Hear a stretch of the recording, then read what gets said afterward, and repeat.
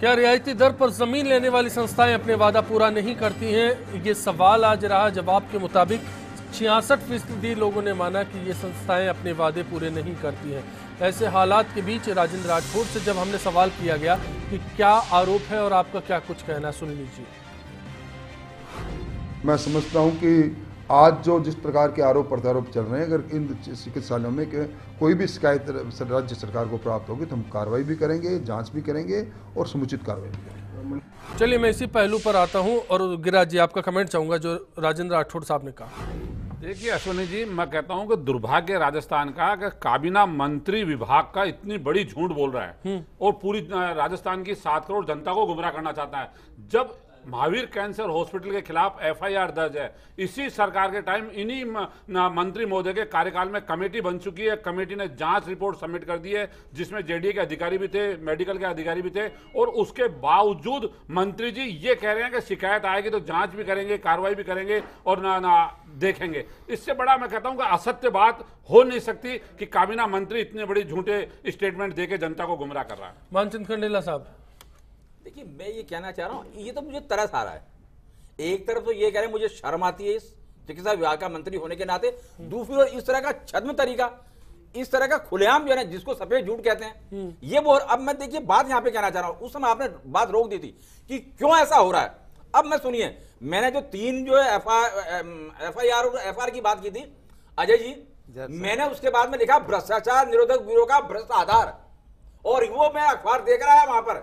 और उन्होंने मेरे साथ मेरे अगेंस्ट में कोई कार्रवाई नहीं करी। क्यों नहीं करी? यानी वो भ्रष्ट हैं। यानी उनको भ्रष्ट बनाया जाता है। वो कठपुतली है। ऊपर वालों की बात मानते हैं। वो किसी बात की छवि की परवाह नहीं करते हैं। और वो केवल भ्रष्टाचार करने के लिए एंटी करप्शन ब्यूरो है। मैं खुलेआम कह रहा हूँ आपसे एक बात दूसरी बात। जितनी सरकारें वो केवल खाने के लिए है लावना लेने के लिए है बीच में कुछ उठाने के लिए और जो नहीं दे पाता है उसका कुछ नहीं करते और जो देता है उसका कुछ भी कर ले वो। अब, अब दो उदाहरण आपके सामने। कैंसर हॉस्पिटल सारी जांचें उनके विरोध में। सुबह शिक्षा समिति फिर आप कहेंगे कि साहब एक क्या नाम आप दे रहे हैं? उनके पास कुछ नहीं कुछ भी नहीं लेकिन उनका कुछ नहीं बिगड़ रहा आपने कहा कि इलीगल कंस्ट्रक्शन है पूरा जेडीए ने कहा अपनी कार्रवाई में परमिशन नहीं है इलीगल कंस्ट्रक्शन है ज़मीन उनकी नहीं है। हम्म। और जो उच्च शिक्षा मंत्री है वो जो है सुमेर सिंह बोत्रा जो मानस मंत्री है उनकी बगल में बैठते हैं। और जो संयुक्त मंत्री है वो इधर बैठते हैं। और वो गौरवान्वित होते हैं। जब गौरवान्वित होंगे सहायक अगर सरकार सहायता करे तो ऐसे हालात में कैसे उम्मीद की जाए कि कौन आकर कार्रवाई करेगा। पंकज जोशी जी क्या भरोसा दिला सकते हैं कि जिन चार पाँच जमीनों का जिन संस्थाओं का ज़िक्र आपने किया वो सिलसिला उससे आगे बढ़ पाएगा? मंत्री जी हाँ। की बात पे मैं बीच में एक बात कहना जी जी। मंत्री जी दिसंबर 2013 में राजस्थान के स्वास्थ्य मंत्री बन गए थे। 20 चार 2014 को हम्म। इन्हीं मंत्री जी के आदेश से मैं नाम बता रहा हूँ डॉक्टर्स के doctor K K Goyal additional director doctor V K K N Gupta then रोग अधिकारी डॉक्टर छिपी। डॉक्टर आर एन मीणा और डॉक्टर रवि प्रकाश सक्सेना पाँच आदमियों को और इनके अकाउंट ऑफिसर छह आदमियों की कमेटी ने महावीर कैंसर हॉस्पिटल की जाँच कर कर लंबी रिपोर्ट दी है जिसमें इसकी सारी अनियमितताएँ बताई गई है। ये रिपोर्ट राजस्थान सरकार के उस दौरान प्रेस कॉन्फ्रेंस भी की थी राजेंद्र राठौड़ साहब ने और कहा था हम कार्रवाई जल्दी करें और उसके बाद आज अगर मंत्री ये कहते हैं कि कोई शिकायत आएगी तो हम जाँच कराएँगे। ये पूछो कि बीस चार चौदह की जाँच रिपोर्ट पर मंत्री जी ने क्या किया या उसके बाद मंत्री जी और महावीर कैंसर अस्पताल के बीच कोई साठगांठ हो गई? इसलिए इतने ज़ोर वो बोल रहे हैं। चले चले पंकज जोशी साहब अब सारा मसला खुलकर आपके सामने आ गया है। जवाब जानना चाहूँगा। नहीं देखिए मैं मैं कर रहा हूँ कि आज अभी जो है हमारे साथी कह रहे थे कि जो है दुर्भाग्य है। मैं कह रहा हूँ देखिए दुर्भाग्य तो इस देश का है कि जिस जमीनों को मैं मैं कर रहा हूँ नहीं देखिए उनकी जो जाँच है बिल्कुल मुझे एग्जैक्टली जो स्पेसिफिक जाँच है उसके बारे में पता नहीं लेकिन निश्चित रूप से हम मंत्री जी को याद दिलाएँगे कि इस जाँच की कोई रिपोर्ट होगी तो निश्चित रूप से जो है बताएँगे क्योंकि आपने खुद ने कहा कि मीडिया में भी उन्होंने प्रेस की थी तो उसमें जाँच में क्या हुआ क्या नहीं हुआ उसको बताऊँगा। लेकिन मैं आपको इस चीज़ का हम्म। बताना चाहता हूँ कि इस सरकार ने न केवल दो बीघा बल्कि जितनी भी सोसाइटीज को। जमीनें जो जयपुर के आसपास और पूरे राजस्थान के अंदर दी हुई थी जिन पे खेतियाँ नहीं हो रही थी लगभग जो है करीबन साढ़े तीन हज़ार बीघा ज़मीन जो है हटा करके उन सोसाइटीज के जो है सरकार के खाते के अंदर सिवाय चेक दर्ज करके जो है बचाई है। तो इतना बड़ा काम जो है सरकार ने किया। उसके बाद डेढ़ बीघा ज़मीन की बात थी। आप चाहे एक फन किंगडम वाले बात करें तो उस ज़मीन को भी जो है सरकार ने लिया।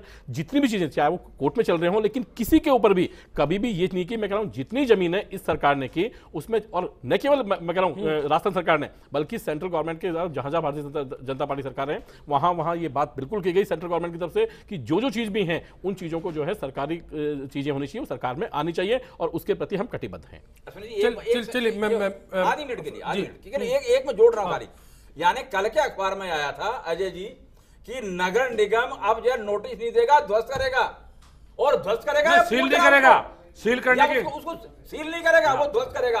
अरे एक को ध्वस्त किया क्या चलिए मैं आता हूँ आता हूँ। एक ही जैन साहब मैं आम आदमी की जागरूकता के लिए आपके ज़रिए ये जानना चाहता हूँ। आप आखिरी एक मिनट है कि अगर इस तरह की अनियमितता का मामला आए तो आम आदमी के अधिकार क्षेत्र में क्या है और वो कहाँ गुहार कर सकते हैं देखिए आम आदमी के अधिकार क्षेत्र में यदि ऐसी अनियमितता का मामला आता है तो फोरम्स तो कई सारे ओपन है। प्रथम सूचना रिपोर्ट दर्ज कराने का भी फोरम है।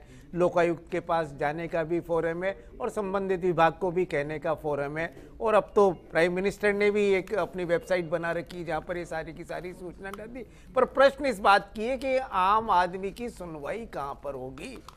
इन सब कुछ होने के बाद भी कि क्या सुनवाई हो जाएगी? ये बात पंकज जी ने बिल्कुल सही की कि दो तीन काम किए हैं 240 बीघा लैंड कमला बेनीवाल की वापस ली गई है साढ़े तीन हज़ार जो कॉपरेटिव सॉरी जो कृषक सहकारी समितियाँ थी उनकी भूमि को आपने रद्द किया डेढ़ सौ बीघा भूमि बिल्डास की वापस ली गई है और फन किंगडम में भी निरस्त करने की कार्रवाई की गई है। मुख्यमंत्री ने कार्रवाई के लिखा पर उसके बाद अधिकारियों ने कार्रवाई नहीं की और कोर्ट में हाथ देकर स्टे करवा दिया। वो एक अलग इशू है हम्म। पर कार्रवाई इन्होंने कम से कम कुछ कार्रवाई की है पर ये कार्रवाई आगे उन लोगों पर भी होने चाहिए जो वास्तव में जो जनता से सीधे जो स्कूल से आज तक किसी स्कूल के खिलाफ कार्रवाई नहीं हुई आज तक किसी अस्पताल के विरुद्ध कार्रवाई नहीं हुई जो जनता को सीधा बिल्कुल आपको आवाज़ उठाने का हक है लेकिन आवाज़ उठाइए क्योंकि आवाज़ उठाकर ही आवाज़ को बुलंद किया जा सकता है कि कोई शिक्षण संस्थान हो या फिर कोई अस्पताल।